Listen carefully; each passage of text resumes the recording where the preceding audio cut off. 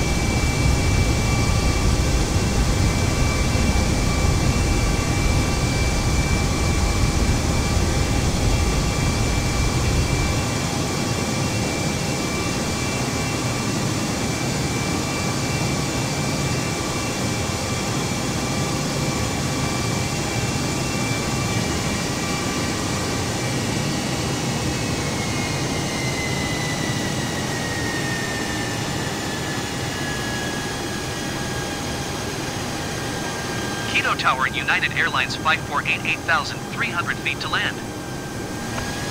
United Airlines 548 Quito Tower. Altimeter 29er decimal 9er 2 wind 274 at 4. Fly left downwind runway tree 6. Fly left downwind runway tree 6 United Airlines 548.